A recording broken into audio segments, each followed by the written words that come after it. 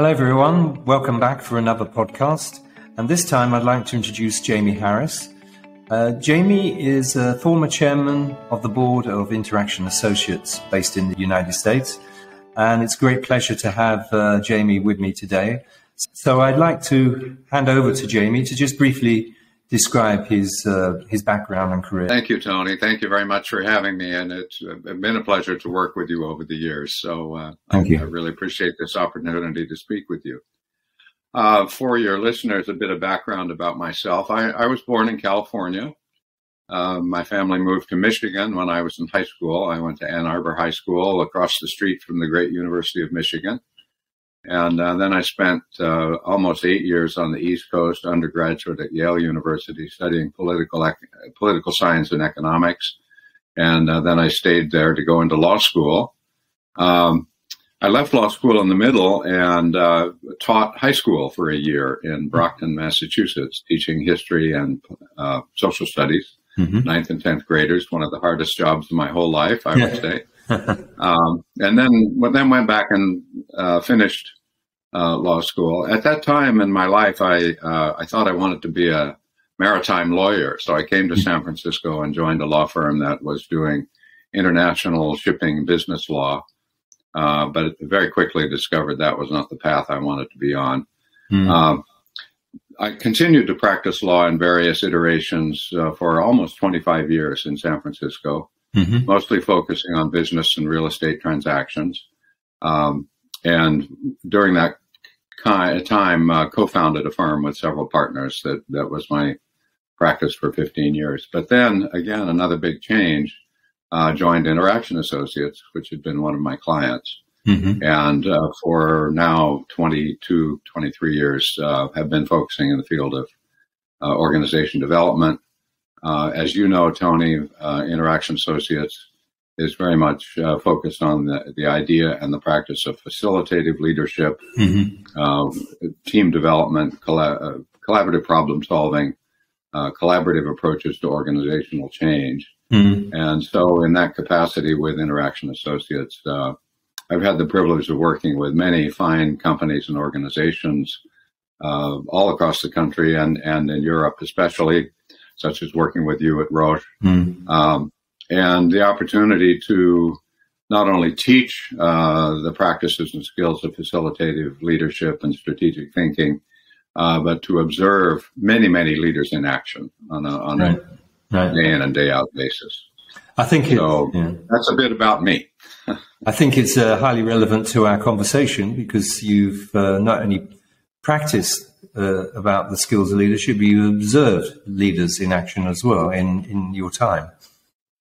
Yes, and I, am I'm, I'm happy to say help some of them develop mm, yes. and become better leaders. I hope at yes. least that's you know that was my dedication for many years. Excellent.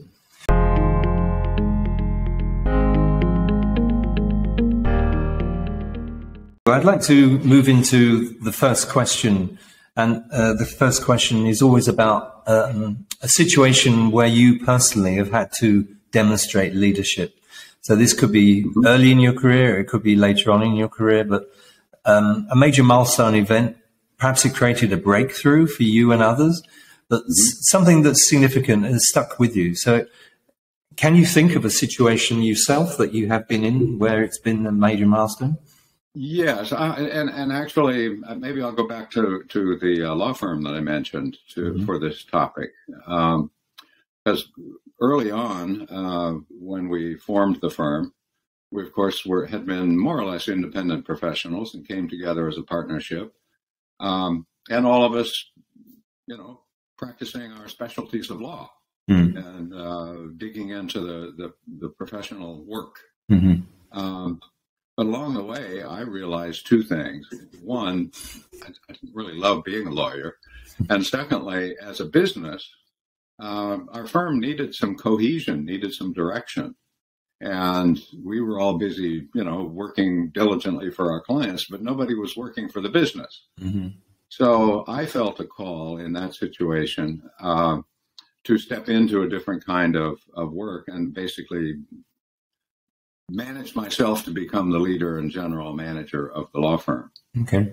Uh, and that took on various forms. It took on, um, you know, just the, the financials for, for starters, you know, being sure that we had a good financial record keeping and billing system. Mm-hmm. It took on risk management priorities, such as being sure that we had good systems and processes for managing timelines and case responsibilities and, uh, and statutes of limitation if people came to us. All, all these uh, sub processes, you know, of practicing law. Mm. Uh, it took on becoming effectively the hiring and uh, manager and performance uh, manager. So in, in, all the the kinds of uh, leadership and management of a of a professional practice, more and more I took that on.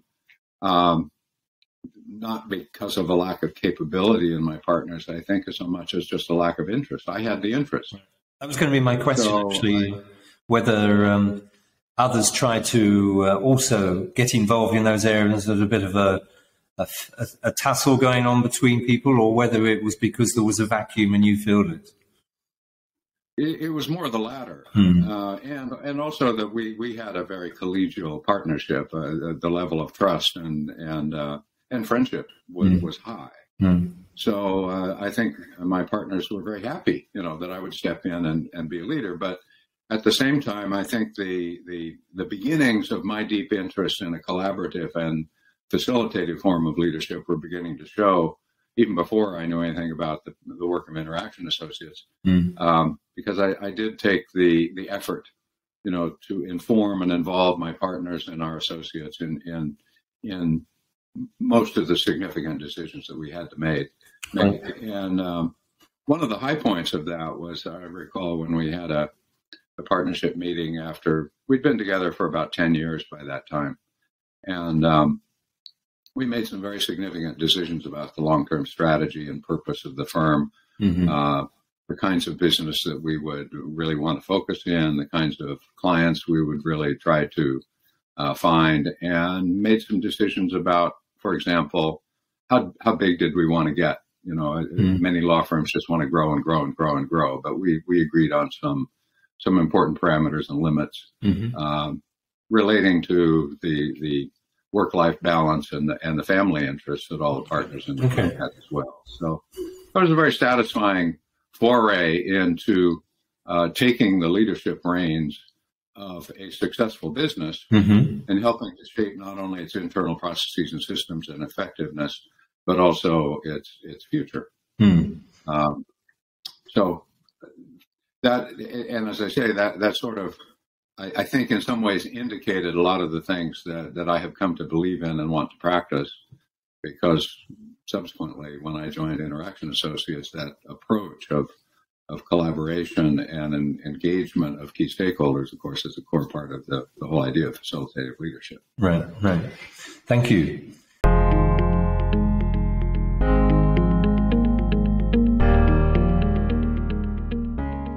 So now I'd like to move to question two. And this is where you, you have in your career at some point observed significant leadership in, in others.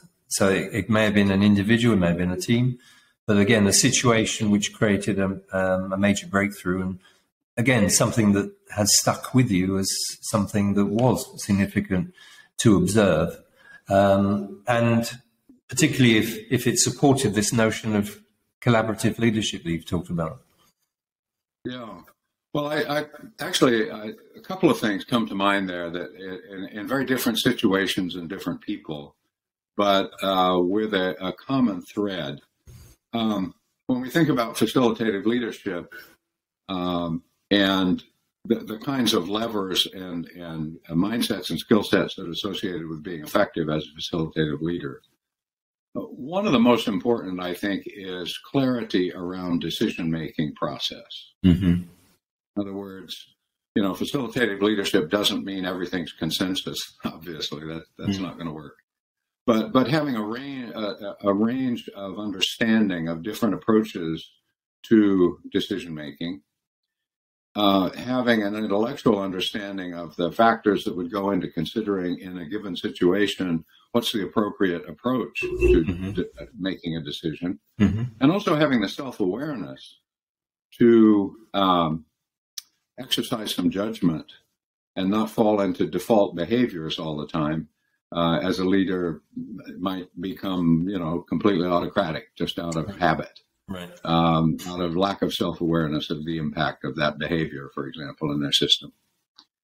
So, if, if we, if, if I think about uh, a couple of uh, observations of very successful use of understanding of the range of approaches to decision making, coupled with a self awareness about how a person chooses Mm-hmm. What approach to take in a given situation. Uh, two examples come to mind.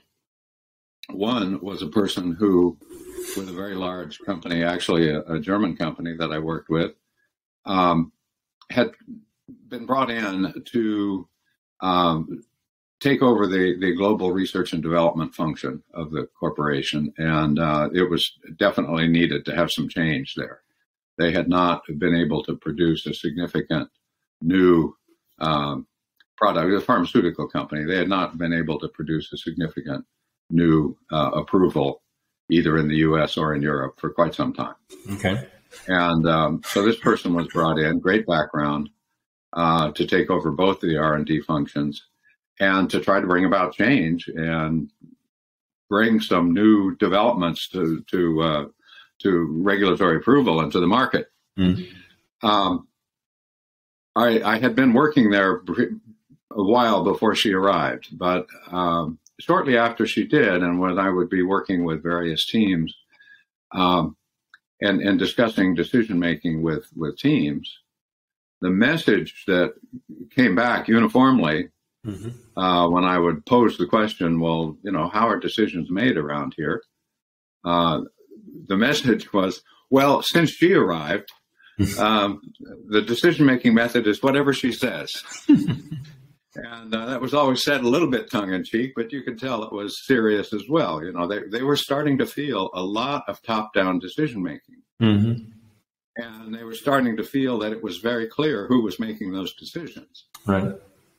So at a, at a very wonderful dinner meeting with this person, uh, shortly after hearing that from several teams, I, I said uh, I asked her if she'd like to have some feedback about my observations, what I'm hearing, and she said, "Oh, absolutely." So I, I told her this, uh, what I'd been hearing, Right. and uh, she smiled broadly, Mhm. and she said, "I'm I'm really glad to hear that." Um, normally, she said, I would take uh, a, a much less directive approach to decision making. My normal attitude and approach would be to involve people much more than than I Mhm. have been since I've been here. Mm-hmm. But she said when I when I came in here and assessed what was going on and tried to get to some of the root causes of the lack of productivity of this large global organization, uh, my diagnosis was one of the major causes of lack of productivity was lack of people willing to make decisions and take accountability for the results of their decisions. Okay. Uh, there's so much political uh, activity going on, so much uh, faux uh, consensus building going on. Nobody was willing to Mhm. take accountability, Mhm. make a decision, Mm. and stick with it. Right. Right. She said, "If if if I'm going to be a successful leader in this organization, I have to I have to impact this culture, and I have to to um, raise the level of accountability and willingness of people to actually make decisions and you know make tough calls and Mm. stand by them." Mm. And she said, "So I've decided that the greatest impact that I can have on the culture is to demonstrate what I think needs to be happening." Right. and uh, it, it, it really had an impact. People began to um, decision times were shortened. Mm-hmm. There was still sufficient amount of engagement and conversation, Mm-hmm. but with following her lead, which was very self-conscious and self-aware Mm-hmm. in what she had decided to do, um, and modeling the, the behavior she wanted to see, rather than go around just lecture people. You know, we need more accountability. We need. Yeah. Yeah. She yeah. just decided to demonstrate it Mm-hmm. uh, it, it had a huge impact, and and a lot of log jams were broken. And did you find that people? Did you find that people started to take on more personal leadership decision making Yeah. themselves? Yeah. Yes. So they weren't they weren't intimidated by her behaviour then, because she was. Well, may, so I, I believe some initially may have felt intimidated, Mm. but and, and, you know, and some people left, Mm. but but others saw and agreed we need this. Right. They were, after all, united in a common cause, right? I mean, this, this this is an organization that has the common cause of bringing new medications to the world Mm. to uh, save lives and make lives better. Mm. And uh, those who who really felt that dedication strongly, I think, uh, began to understand the reasons why they had not been so successful and Mm. the reasons they needed to change their behaviors, and, and, and they moved in that direction. Right. Right. Um, another one, if, if there's time for just another Sure. short example of somebody a, a much different level of their, their development as a leader. Obviously, this person was a very, you know, capable and sophisticated leader. It was a pleasure to work with her. Um, at the at the other end, uh, thinking about a, a person again, this this theme of uh, being a technical expert in something, but moving into management leadership roles. Mm-hmm. In my coaching in the last few years, I've I've worked with several young uh, research scientists in in smaller biotech companies who are just moving into their first actual having to lead and manage group roles. Mm. Uh, some of them look forward to it greatly. Some of them are intimidated by it. Mm-hmm. And there was one in particular who was really struggling. Um, again, a she, but um, she said to me one time, "I'm not sure I want to do this. You know, Hmm. I, I, I just, I'm now working with people who have been my peers, Mm-hmm. and I'm their manager now. Mm. Difficult Uh, one. Yeah. um, it, it's really difficult, and and and they don't they don't accept my role uh, in in managing them. Mm-hmm.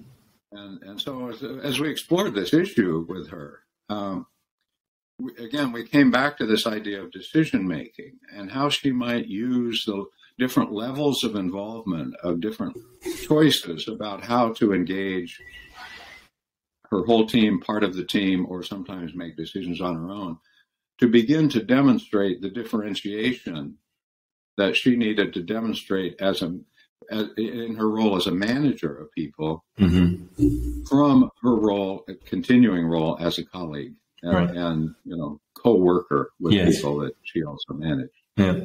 So we talked about this idea of levels of involvement, decision making, and how could she, uh, when decisions came before that that that needed to be made impacting the group, she could articulate what decisions it was appropriate for her to seek consensus of the group Mhm. and really involve them more as colleagues Yeah. versus decisions where she needed either needed to delegate to an individual or seek individual from a small subset of the group or even situations where she just needed to make the call Mm-hmm. and announce the decision Mm-hmm. decide and announce Yes. you know the way of using our interaction associates technology and so we worked through all of those choices and the factors that she might consider and how she could articulate those to her group um, and she reported back to me later that had a huge impact Hmm. not only on the group understanding Mm-hmm. that now this emerging differentiation in her role but also in her own self-confidence Mm. about fulfilling her role Mm. because it, it, it gave her a, a framework and a language Yeah. Yeah. with which to rationalize, not only rationalize for herself, but to communicate to others Mm. what she was doing and why, and why it was important. So I, I would say both at, at both ends, or somebody first coming into a leadership role and somebody who's been a very successful leader for a, long career, Mm. um, the same idea of being self, one self-aware, and two having the intellectual knowledge to be able to make reasoned choices and Yes. articulate them Yes. about decision making. I've seen as as a very um, successful tool, if you will. Yeah, and I think in the latter case, the example of a, a structural framework to guide you and uh, to help you make those important decisions is is very relevant. Yes. Yeah.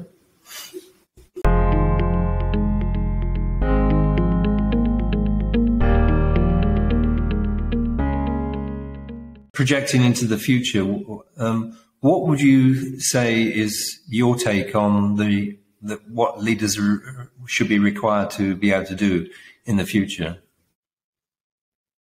Yeah. Well, of course, so many huge social and economic changes, right, that, that we could focus on. Um, I mean, even just recently, the, the Great Resignation, as it's called, uh, mm. associated with, with the COVID pandemic.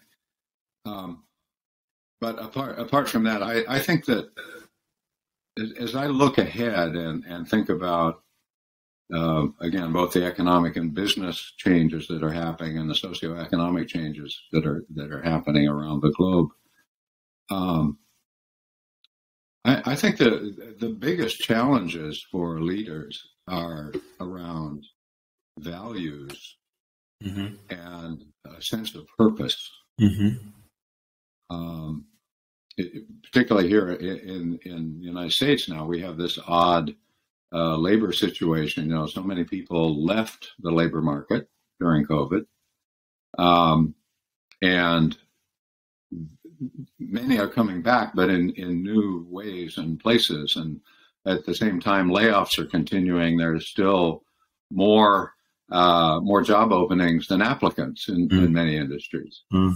So this raises, in my mind, for, for a leader of particularly of a business organization, um, what kind of uh, culture, what kind of sense of purpose and meaning uh, can they project? Can they help create in their organization that will be attractive not only to uh, new people coming in, but to to retaining the skills and talent that that they need for the long term? Yeah, yeah. Um, I've always believed that one of the probably the most important role of a leader is to be able to answer the question why. Mm-hmm. In other words, what's the purpose fundamentally? mm-hmm. of what we're doing. Of course, we're here to have a profitable business, but uh, we we know from a lot of research. Dan Pink's great mm-hmm. book, Drive, for example. You know what really motivates people. Mm-hmm. It's a sense of autonomy, having some control and ability to you know be a free agent. Yeah. Uh, mastery, having the ability to learn and grow and become better at something Mm-hmm. And then the third and probably most important is having a sense of purpose. Mm. What what what is the larger purpose? What is what is the real why for for what we're doing? Mm. And of course, in, you know, as we, we touched on the pharmaceutical industry, uh, which I have enjoyed working in the 15, 16 years, that that seems pretty clear to most people. Mm-hmm. But in other industries, sometimes um, that motivating or potentially inspiring purpose mm-hmm. is more or less present.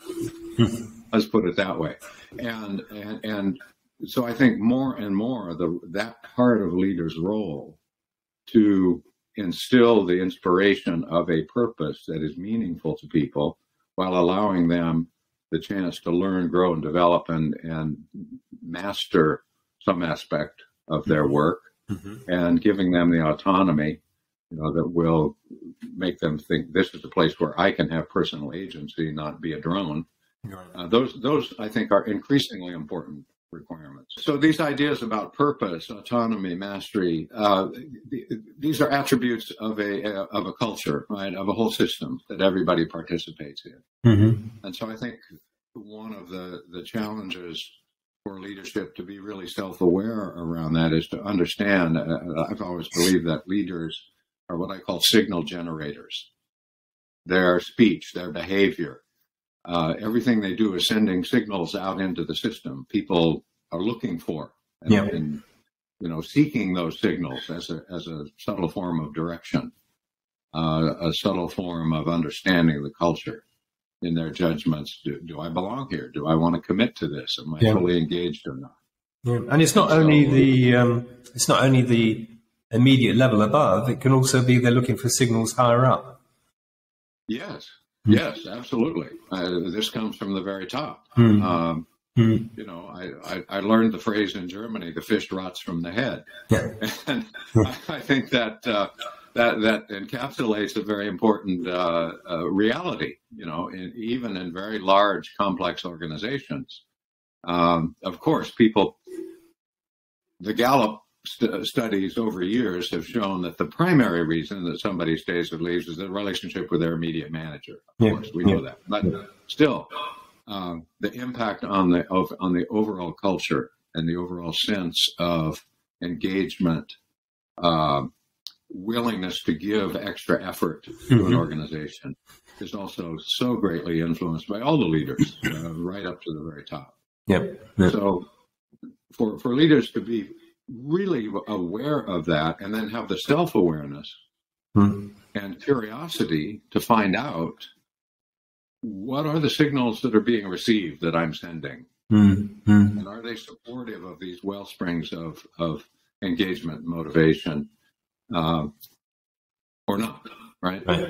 Right. Uh, so I, I think increasingly, as people uh, are living in the complex turmoil of our mm-hmm. societies and our business environment, um, the the challenges of, of, of having a sense of purpose, having a sense of individual agency through this this idea of autonomy, and a sense that this is a place that I can grow, I can develop, mm-hmm. I can I can improve my own skill and knowledge of what I do. It's going to be absolutely necessary right. uh, in, in a, you know to have competitive advantage yeah. Uh, through through people. Yeah. And I think linked to this comment before about the, the great resignation, people are going to be more yes. choosy about where they choose to spend their time. Yes, exactly. Mm. And, you know, the, the increasing social turmoil mm. will be placing more and more pressure on people uh, to maybe make choices that they wouldn't have, ha- uh, have in the past, mm. uh, in addition to simply their sense of I don't have to do this job every day again. I can go do something else. You know, yeah. there'll be both a pull and an internal pull, mm. uh, but there will also be forces pushing people mm. uh, who who might, you know, find themselves in an environment that they really love to work in, but but have pressures that would push them out. And so mm-hmm. again, so it's a it's how do you create a balance uh, between this turmoil going on outside? uh, the organization, and a sense of place, a sense of purpose, a sense of uh, engagement in a purpose mm-hmm. uh, through effective leadership and, and effective signal sending. I do think that that's that's the big challenge I see, for, mm-hmm. especially for uh, corporate and uh, European and, and, and American corporate culture. Jamie Harris, thank you very much for your insights. It's been great spending time with you. Much appreciated.